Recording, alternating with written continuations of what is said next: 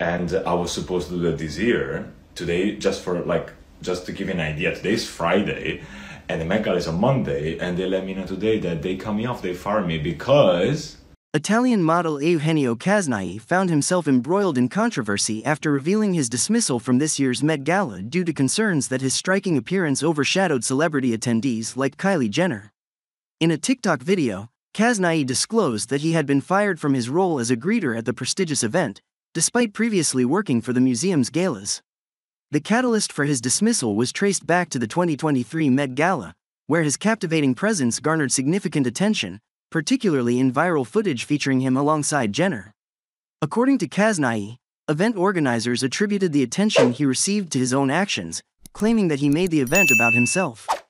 Despite being confirmed to attend this year's gala, Casnighi was informed just days before that he was no longer welcome. Speaking out about his experience, Casnighi shed light on the dynamics behind the scenes of the Met Gala, including encounters with celebrities and the expectations placed on models like himself to enhance the event's visibility.